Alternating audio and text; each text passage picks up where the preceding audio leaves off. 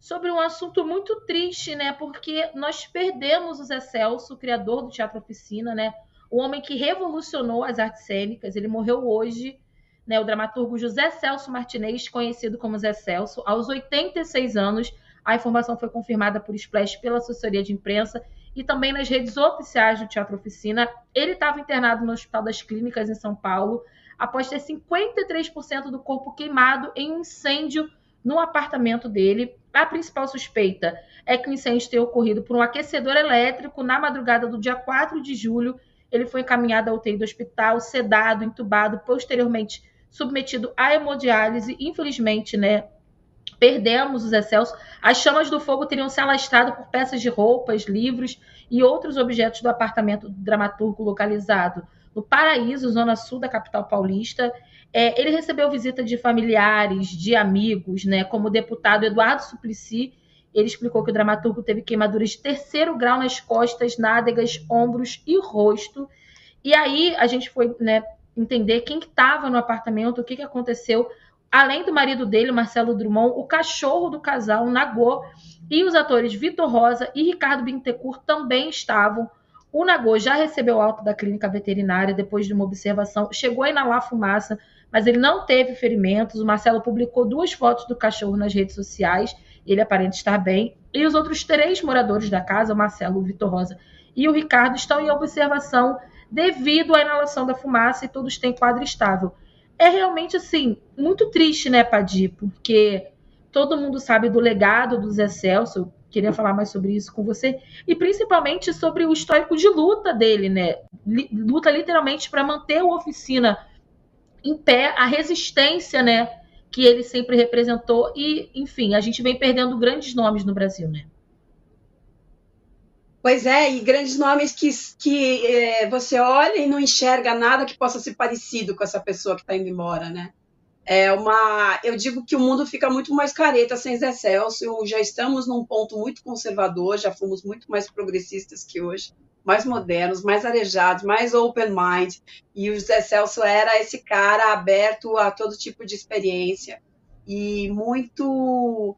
E quer dizer assim, quantas pessoas poderiam convencer o Silvio Santos a manter aquele terreno até como está hoje, né? Assim, eu acho que se fosse outra pessoa, ele morreu sem conseguir essa garantia de ter ali uma, uma praça pública, né, no entorno da oficina, mas eu penso que se fosse outra pessoa, o Silvio Santos talvez não tivesse resistido tanto tempo, já, talvez ele já tivesse passado ali com, com um trator em volta e tivesse feito lá as torres que ele queria ter feito há muito tempo. É uma briga antiga, né, era uma briga antiga dos Zé Celso, e é, de qualquer forma era assim, era uma coisa, eram sempre encontros que nunca eram eram encontros de pessoas com uma divergência forte ali, né, sobre o que colocar no entorno da oficina, mas eram sempre encontros divertidos, porque são duas pessoas divertidas, mas de um lado, né, um cara mais o empresário, e do outro lado, a arte, que era os excels.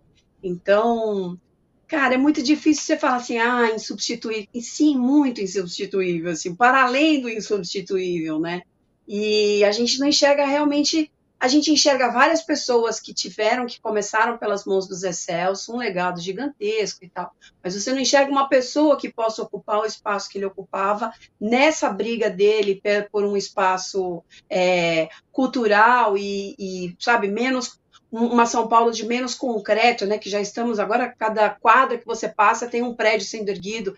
Então era um cara com uma briga forte ali numa região central da cidade, onde a gente pode vir até um pulmão e eu acho que o Silvio devia prestar essa homenagem, já que ele teve essa oportunidade, né? E discutiu com ele civilizadamente, mas divergiu com ele por muito tempo. Podia prestar essa homenagem e abrir mão daquele espaço para realmente ser um parque, quem sabe, né?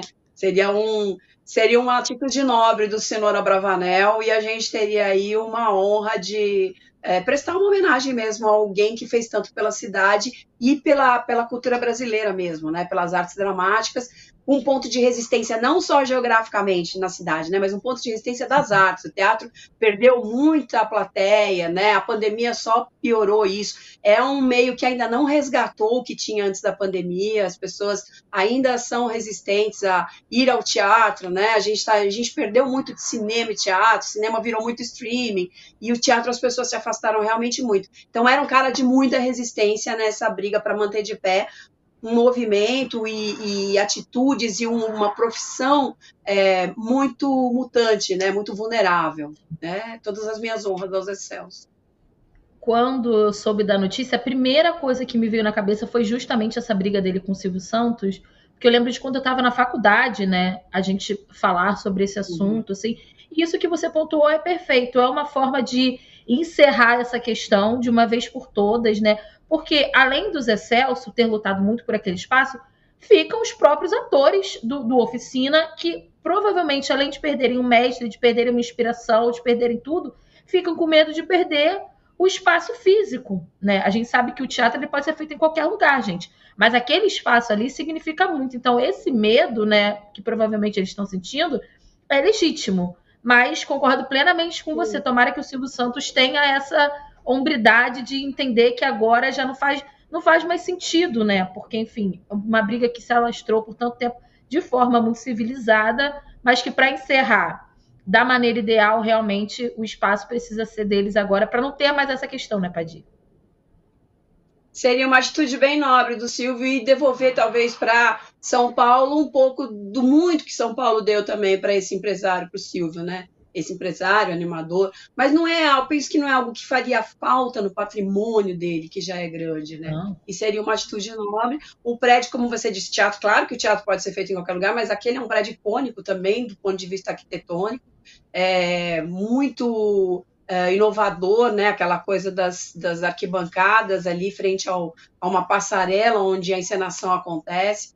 Então, que aliás, quem não conhece é uma grande oportunidade e agora sim, a gente só acha que essa resistência àquele ponto, ela perde um pouco, né? Se o Silvio não ceder ali, eu duvido que vai ter uma pessoa com tanta força de vontade para debater civilizadamente com a, o Silvio Santos ou com a família é, em torno desse, desse, da preservação desse patrimônio e do entorno, né? Porque ali o oficina está mais ou menos, ele pode ser assegurado ali como é, a gente não está falando só da doação do, do, do, espaço da oficina, mas desse entorno em que ele queria fazer um parque e o Silvio queria construir torres, é, não sei se de prédios residenciais, já falou em construir shopping, mas a gente queria que fosse um, um pulmãozinho verde ali no centro de São Paulo, do lado de um lugar que deu tanto para a gente de arte que pudesse ser preservado. Exatamente. E fala-se tanto né, de São Paulo assim como um, um, um polo cultural do Brasil e etc. É a hora.